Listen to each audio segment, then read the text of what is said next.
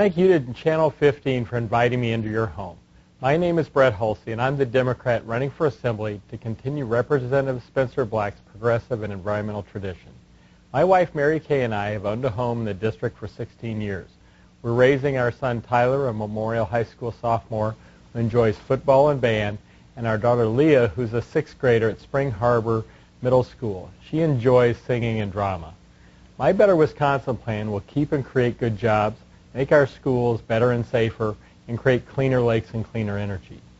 Thanks to Spencer Black, Senator Fred Risser, County Executive Falk, Mayor Dave Cieslewicz, WEAC, AFSCME, SEIU, uh, Sierra Club, and Clean Wisconsin, the Building Trades and Carpenters, and many others for their support. The Wisconsin State Journal says I'm the best choice because of my toughness, persistence, and ability to craft a creative compromise. Cap Times says I'm always informed, always progressive, and just about always successful. I am the proven progressive Democrat in this race. I've learned this by serving you for 12 years on the county board. This taught me how to get things done.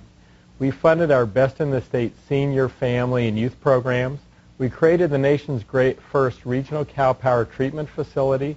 We'll clean up 2,600 cows, making energy for 2,500 homes, and create about 25 new jobs.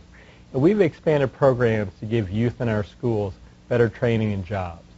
Our great schools, UW and MATC, need more state funding, and I will lead efforts to get that funding. We'll eliminate the furlough program. As a former middle school and high school math and science teacher and PTO co-president, we funded vital school needs, started family fun nights, and running a small business showed me how to create new jobs.